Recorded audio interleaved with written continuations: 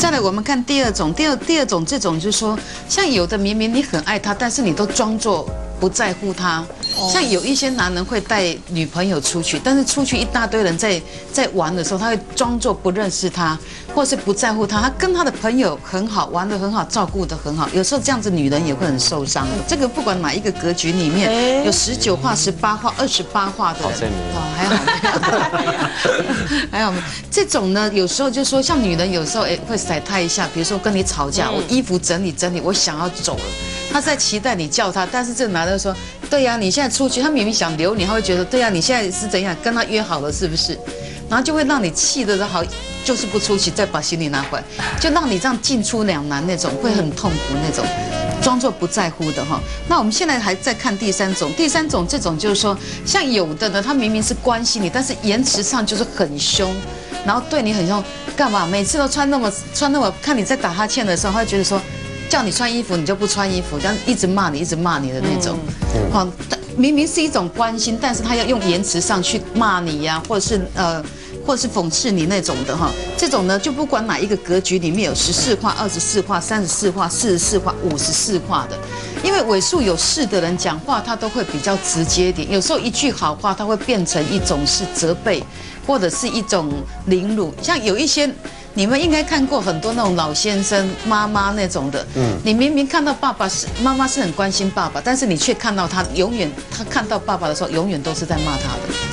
对呀，嗯，这永远打个喷嚏，打个喷嚏应该是喝会啊秀秀，然后说打喷干嘛？想演白雪公主啊，当白马王子啊？好贱的嘴！这有毒苹果，再吃一颗吧。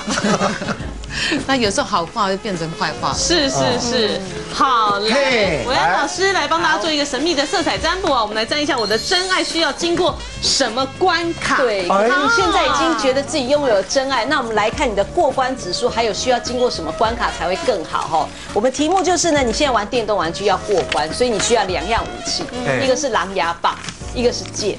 好，那你会选择哪一组呢？第一个呢是长这样，有没有？整个狼牙棒是粉红色的，然后长剑是红色的。好哈，好。第二个呢是长这样，蓝色的搭上橘色的。第三组呢是走淡蓝色系加淡黄色系。第四个呢，狼牙棒是透明白色，那剑是红色的，还是呢粉红色狼牙棒搭上橘色的剑？凭直觉选一个。好的。武器哦，噔噔噔，起义。我选第四个。第四个。好，亚伦第一个。第一个。好。黄老师也是第一，都要红的，红的。美老师，你为什么都要红的？当然了，我这这红的，你看，我这个是红的。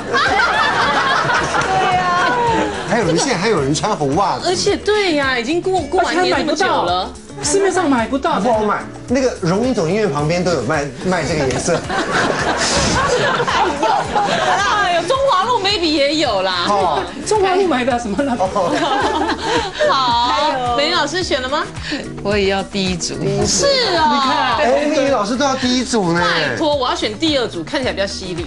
嗯，我要第一，我要第一组。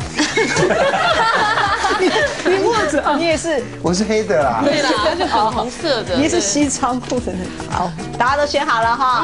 好，我们来看呢，本日非常多人都要选红袜子的第一组哈。观众朋友，如果也跟我们现场四位一起选，是六十分，过关六十分。那需要经过什么关卡呢？哎，这个是照顾的关卡，代表说你目前呢对对方不是照顾太多，就是照顾太少，要么就是都是你在照顾，要不然就是都是人家在照顾你。所以在照顾的分寸上，一定要稍微。平衡一点，那通常选到这个配色呢，代表说自己也蛮有主见的，然后呢也常会去碎碎念，然后唠叨对方，比较控制欲强一点。这个部分需要过关之后，你就可以从六十变一百啊。那来看静纯姐跟观众朋友选呢，哎，这个配色的话呢是四十分哦。好，为什么呢？这个是沟通关卡，代表目前沟通有一点小堵塞。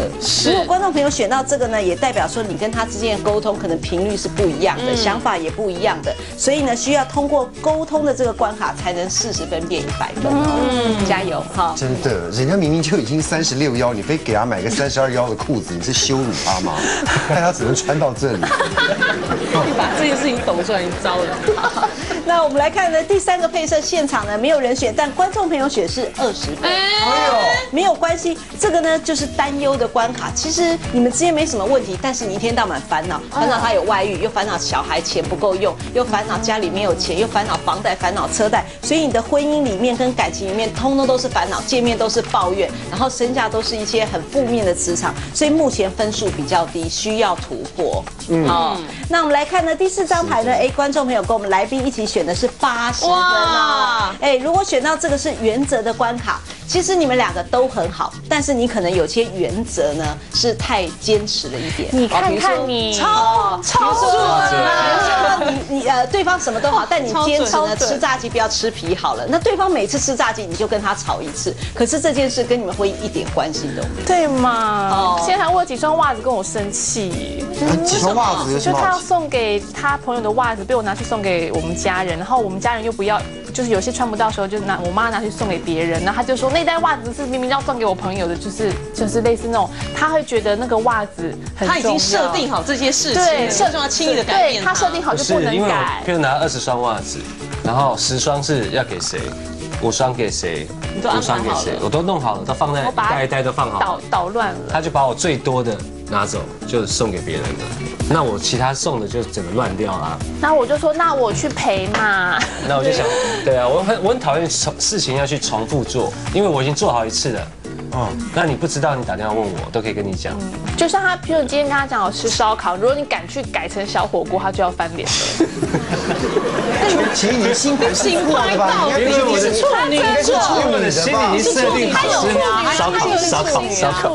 没没没，你应该是差不多整盘都是处女，是处女啊，对呀。而且你要不然就是处女的军校出来的，要不然就是有少年监狱、少年感化院那个有 有我就跟他说烧烤客满了嘛，然后他就说，可是他想了一整天的烧烤，又跟他讲是换小火锅，他就没关系，这很不舒服哦，这真的很不舒服。但吃饭这一集跟朋友一起耶，要没关系，这一集录完，请你老公跟黄老师一起去中华路买袜子，要买什么颜色都有，好不好？所以这个就是有一些原则卡住，那个原则其实就是一些小事，比如说你晚上要开灯睡，他要关灯睡，或你晚上睡前要看书，而他不要之类的。哦，那我们来看最后现场都没有人选，其实是一百分，观众很有福气哦，这是信心关卡。代表这个配色，你们目前状态是非常完美，只有你自己在没有信心而已。你一直担心会离开，一直担心不长久，一直担心幸福存不存在。其实只有你的信心问题一解决，其实所有事情都是很好的。